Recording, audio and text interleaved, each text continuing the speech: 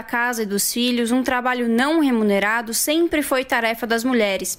Segundo dados divulgados em 2019 pelo IBGE, mulheres dedicam em média 18 horas e meia semanais aos afazeres domésticos e cuidados de pessoas, enquanto os homens gastam em média 10 horas semanais realizando as mesmas atividades.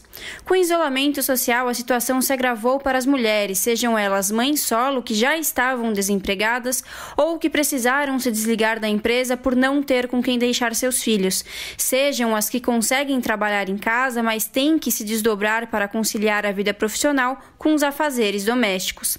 Márcia Viana, secretária de Mulheres da Central Única dos Trabalhadores de São Paulo, comenta que neste período as mulheres são as mais prejudicadas. As mães que estão com seus filhos em casa ficam mais sobrecarregadas. É, outro fator é a desigualdade também na, na questão das realizações do trabalho não remunerado. As mulheres estão ainda mais sobrecarregadas. Para as mulheres que estão em trabalho home office, a vida também não está nada fácil, né? Pois equilibrar o trabalho remunerado, muitas vezes sem condições de ter um espaço para trabalhar dentro da sua casa, sem condições muitas vezes de ergonomia e sem contar com os milhares né, de afazeres domésticos e cuidados com os filhos, é, principalmente nesse período que as, as crianças não estão na, na escola, não, não, não estão na creche, enfim, é, e sem contar com a ajuda né, do companheiro ou de alguém da família. É, e também não podemos deixar de falar aqui da dificuldade é, ainda maior das mães solos, uma situação grave vivida por mais de 11 milhões de famílias é, aqui no Brasil. É o caso da Beatriz Diniz, presidente da organização Cruzando Histórias. Mãe de um menino de 5 anos, ela conta que desde o começo da quarentena está trabalhando em casa e que, mesmo dividindo os afazeres domésticos com o marido, a responsabilidade maior da casa é dela, o que leva à redução do seu rendimento profissional. Desde que começou a quarentena, as coisas mudaram muito, né? Porque já são quatro meses em casa, sem aula na escola.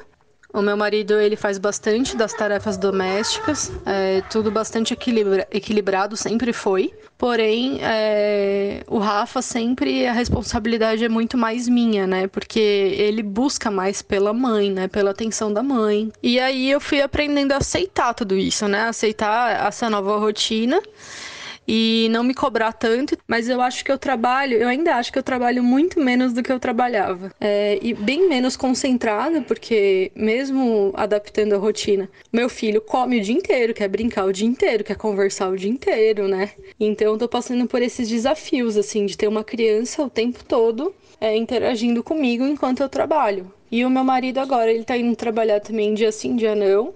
E ele, assim, é homem, né?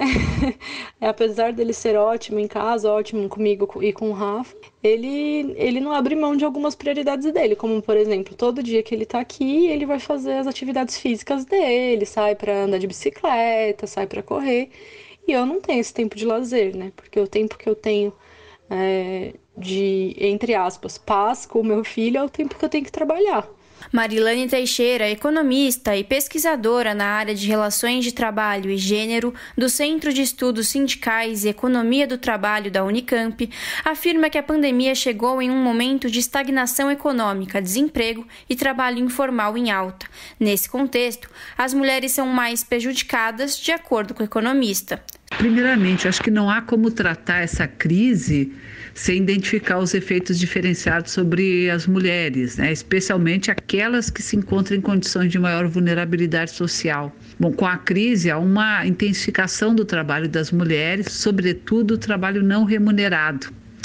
É, além disso, o desemprego, é, que já era expressivo no período anterior à crise, e a maioria das pessoas desempregadas eram mulheres, eles afeta primeiramente os trabalhos mais precários e altamente feminizados, né, como emprego doméstico, comércio e serviços, que foram que mais se ressentiram do, da crise já no começo dela, no, entre março e início de, de abril.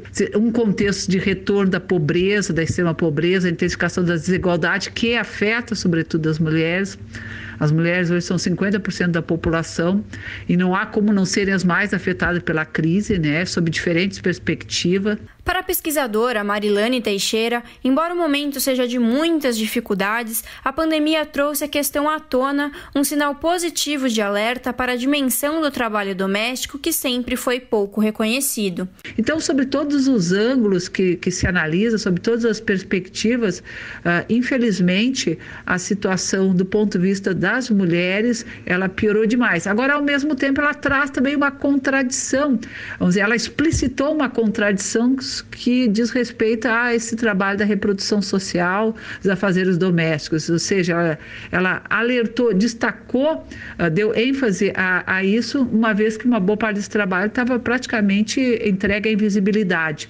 Ao dar visibilidade a ele, porque evidentemente os homens, parte deles estão envolvidos nessa tarefa ou estão, de certa forma, é, acompanhando isso, mesmo que não se envolvam direto nessa, diretamente nessas tarefas de casa, mas estão percebendo como elas se operam, como é que elas se organizam, é, isso fez com que várias iniciativas uh, começassem a ser tomadas né, em relação a homens escrevendo sobre isso, depoimentos sobre isso. Eu acho que isso pode ser um, uma sinalização boa no sentido de alertar para uma dimensão do trabalho que até então era muito invisibilizada e pouco reconhecida socialmente. Larissa Boyer, Rádio Brasil Atual. Está ouvindo Jornal Brasil Atual. As notícias que os outros não dão.